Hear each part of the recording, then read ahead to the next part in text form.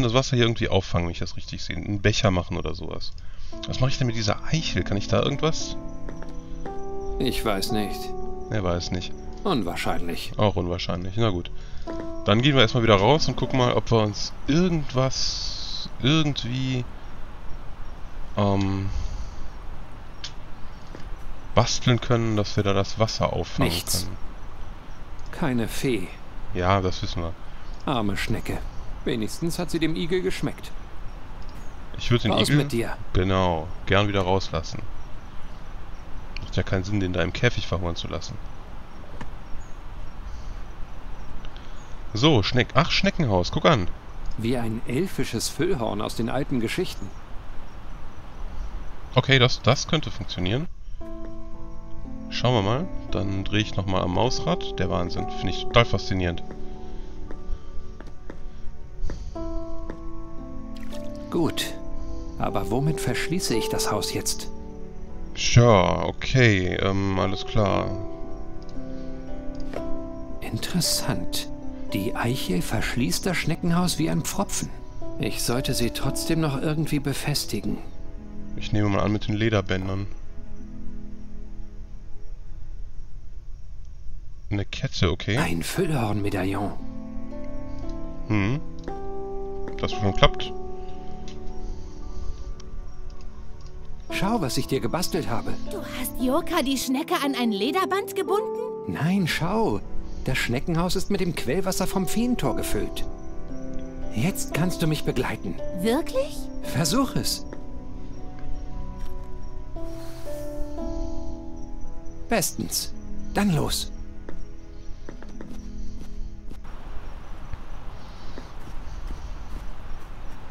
Du musst mir alles zeigen. Wohin gehen wir als erstes? Wir müssen nach Andergast. Ist das deine Heimat? Das kann man so sagen. Wo lang? Hier lang. Warte.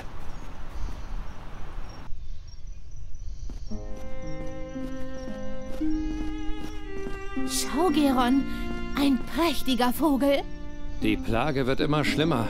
Komm, dort ist das Stadttor. Ich will ihm nur guten Tag sagen. Diesem zerzausten schwarzen Hexentier? sagt der hässliche, bleiche Schweinefresser. Guten Tag, Rabe. Ich rate euch, meidet die Stadt.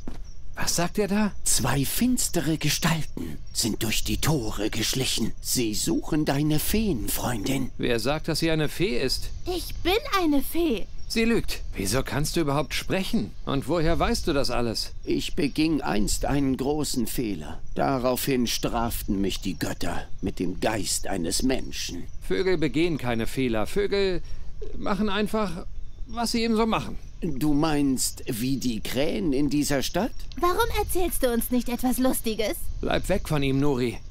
Etwas stimmt hier nicht. Aber alle Tiere können sprechen, Geron. Unwichtig. Komm, bei mir und Gwynling bist du sicher. Wieso ist die Tür offen? Hier wohnst du? Etwas stimmt hier nicht. Wie das hier aussieht. Ist das Blut? Bei den Göttern. Jemand ist hier. Die Fee. Ich muss sie verstecken. Okay, äh, das entwickelt sich gerade relativ flott. Also die Fee muss versteckt werden. Nuri, schau mal. Hier ist es spannend. Ist das eine Höhle? Ja, warte so lange drin, bis du ein helles Licht siehst. Wer ist denn hier? Hallo. Ich bin Nuri Darinella Wanda. Aber Geron nennt mich Nuri. Ich muss endlich wissen, was hier passiert. Ich habe die Fee erstmal in den Schrank gestellt. Was ist denn das? okay. Ähm. Ja, also. Oh Mann. Schon wieder lose. Aber darum muss ich mich später kümmern. Huh. Dann schauen wir mal. Den Göttern. Was ist hier geschehen? Deine Augen. Wer hat dir das angetan? Der Seher. Er ist zurück. Beweg dich nicht. Ich bin bei dir. Er, er hat seine Kreaturen nach mir gesandt, die Fee. Du musst sie Sie haben... Gwynling? Gwynling, bleib hier!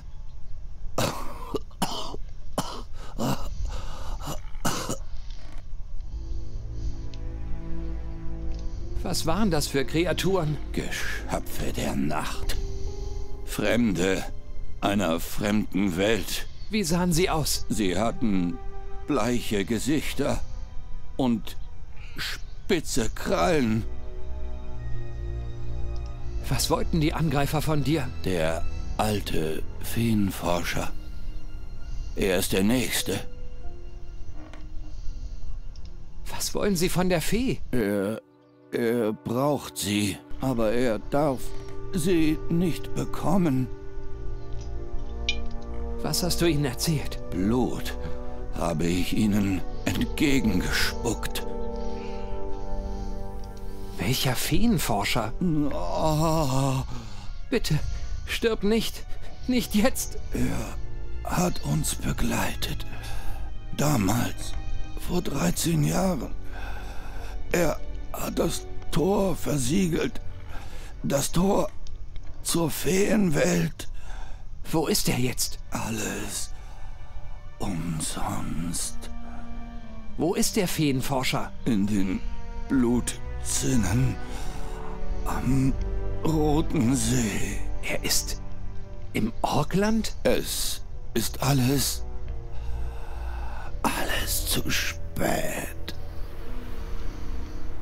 Was geschieht jetzt mit der Fee? Es gibt nur einen Weg. Welchen? Du musst sie töten. Nur so kann der Seher aufgehalten werden. Was? Nein, ich bin kein Mörder. Dann wird Andergast untergehen. Ich kann die Fee nicht töten. Du musst es tun. Es muss doch einen anderen Weg geben. Sei kein Narr. Seine Macht liegt jenseits deiner Vorstellungskraft. Gwynling? Da. Ich kann sie hören. Die schwarzen Schwingen.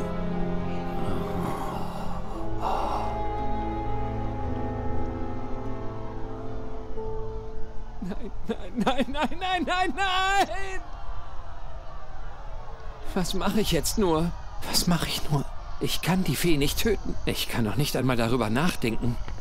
Es muss einen anderen Weg geben. Der Feenforscher. Der rote See in den Blutzinnen. Der König kann seine Ritter dorthin schicken. Sie werden wissen, wie man den Seher besiegt. Ich muss nur zur Burg und sie warnen und alles wird wieder gut. Da, da ist die Hexe. Schaut er nicht in die Augen! Hexe, auf den Scheiterhaufen mit ihr. Oh nein, Nuri! Ach du Scheiße. Ach, Kacke, das. Oh Mann, das hat sich jetzt aber flott entwickelt. Ähm, okay. Oh Gott. Nuri! Geron, deine Menschen sind alle wütend auf mich. Ich habe Angst, dass sie mir etwas tun. Was hast du angestellt? Du solltest doch im Zimmer bleiben. Mir war langweilig. Da bin ich rausgelaufen. Ich wollte deine Stadt sehen. Auf dem großen Platz waren alle Tiere eingesperrt. Sie taten mir so leid. Also hast du die Käfige geöffnet. Ja, aber dann bin ich gestolpert und es hat furchtbar gescheppert. All die Schüsseln und Warum bist du nicht im Schrank geblieben? ich wollte doch nichts Böses. Frag den Raben. Er hat alles gesehen. Wie bist du da überhaupt hinaufgekommen? Ich weiß nicht mehr. Ich hatte Angst vor deinen Menschen und plötzlich war ich hier oben. Aber jetzt äh, komme ich nicht mehr runter. Das sind nicht meine Menschen. Oh Mann, wie ein kleines Kind. Tja, das demnächst verbrannt werden soll. Was machen wir denn jetzt? Ich glaube, denen steht der Sinn nicht nach Verhandlungen. Nee, sieht nicht so aus. Ich fürchte, jetzt kommt dieser Pflock hier ins Spiel oder so. Oh Mann, was mache ich denn jetzt? Das geht ja mal rasant ab hier. Leb wohl, Gwendling. Das ist echt traurig. Immerhin ein Andenken an Gwendling. Zerbrochenes Messer. Hm. Der Seher will uns alle mit einer Zauberharfe vernichten? Und dafür braucht er meine Fee? Das alles ist doch Wahnsinn. Das sehe ich aber ganz genauso. Das ist ziemlich abgedrehter Scheiß. Ähm. Okay, dann äh, puh, schauen wir mal, wie es weitergeht. Was ich hier machen kann. Das Kabuff ist trotzdem, das hat sie hinter sich zugemacht, ne? Das ist aber lieb. Ach Gott, ja, das Katapult. Es schießt nicht mehr. Das Schießt. Spanngarn ist durchgefault. Es schießt nicht mehr. Gut, das Spanngarn, das kann ich jetzt nichts dran machen, glaube ich. Was mache ich denn mit dem Messer? Wozu habe ich einen Hammer? Moment, okay. Das heißt, dass jetzt, jetzt bist du bereit hier? Okay. Verdammt! Verdammt! okay. Ich nehme die Tür. Äh, warum auch immer. Wird schon einen Grund haben. Ach, mit der Tür kann ich ihr vielleicht... Moment. Kann ich ihr vielleicht rüberhelfen? Gucken wir mal, was ich hier mit der Tür anstellen kann. Nee. Ich muss hier eine Brücke zu unserem Haus bauen. Ja, genau. Deswegen hatte ich die Tür in, in Verdacht. Aber irgendwie scheint das nicht zu reichen. Vielleicht mit den Fässern zusammen? Ich brauche etwas, um ihn loszuschlagen. Na, ich habe doch einen Hammer. Ach so, Moment. Erst wieder rein, runter, raus. Deine Fee ist in Gefahr, Nachthaar. Du schon wieder. Ein Mob hat sich versammelt. Sie soll brennen wie eine Hexe. Hilf ihr, bevor es zu spät ist. Was hat die Fee angestellt? Sie ist abgehauen und hat die Tiere befreit. Alles ist in Aufruhr geraten. um ein Haar hätten sie deine Freundin erwischt. Aber sie hat sich auf die Mauer gerettet. Warum wollen sie Nuri verbrennen wie eine Hexe? Das kam, als sie in den Stand mit den Tonschüsseln fiel. Sie hat einen fürchterlichen Radau gemacht. Und als alle zu ihr hersahen, zauberte sie das ganze Chaos wieder ganz. Sie kann Dinge wieder heil zaubern? Ja, ganz wie eine Hexe. Und ein Scheiterhaufen ist hier schnell gebaut. Ich muss sie retten. Wieso hilfst du nicht? Ich bin ein Rabe. Was kann ich schon tun? Klug daherschwatzen und dunkle Drohungen ausrufen. Ihr Biester bringt doch nur Unglück. Sehr hilfreich. Und jetzt hol sie von der Mauer, bevor es zu spät ist. Ich denke mir was aus. Du halte still. Mach schon. Tja, sehr hilfreich. Danke sehr, Rabe. Also hier, ha, hier sieht man, wie sie die, die Schweine weggelaufen sind. Hm, hm, hm, hm. Okay, ich muss irgendwie den Pflock da entfernen. Zu fest verkeilt. Na okay, aber wir haben immer noch den Hammer. So viel zum Pflock. Ich bringe einfach die Fässer zum Rollen. Mit etwas Glück schneiden sie der Meute den Weg ab. Dann mach mal. Bloßer Kraft bringe ich die Fässer nicht zum Rollen. Schon Nicht. gar nicht, solange sie befestigt sind. Ja gut, aber den Pflock habe ich ja nun weggemacht. Was, was kann ich denn jetzt noch? Vielleicht hier das Seil? Mit bloßen Händen werde ich es niemals lösen. Okay, aber vielleicht mit dem Messer. Wenn ich wenigstens ein heiles Messer hätte. Kannst du das Messer mit deinem Zauber wieder ganz machen? Sicher, Muss ich dir das irgendwie zuwerfen? nicht nötig. Es ist tatsächlich wieder ganz. Danke, Wirst du mich jetzt retten? ich bin dabei.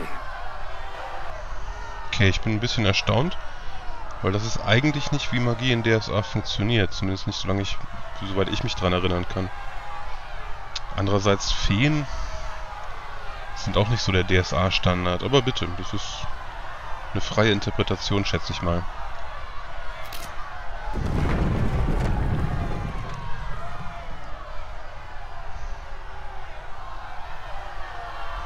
Okay, das schneidet die Meute von diesem Weg hier ab. Aber jetzt muss ich sie noch irgendwie hier rüber kriegen, wenn ich das richtig sehe. Wie zum Namenlosen ist sie da hinaufgekommen. Auf der brüchigen Mauer kann die Fee unmöglich bis zum Lagerhaus klettern. Okay, dann versuchen wir es nochmal mit der Tür. Auch nicht. Das muss ich von Gwynlings Fenster aus machen. Ach so, okay, dann probieren wir das doch mal.